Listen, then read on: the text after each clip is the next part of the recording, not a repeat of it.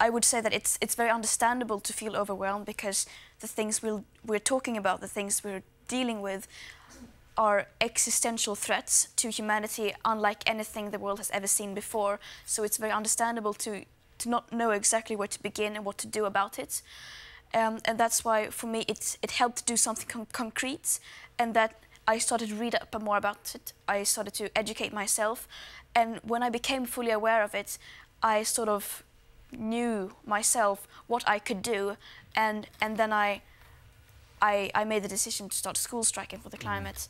Um, but but also, as I mentioned earlier, connect with other people who feel the same thing, who share the same values as you. Uh, because when you're together in this struggle, then there is no there are no limits to what you can accomplish.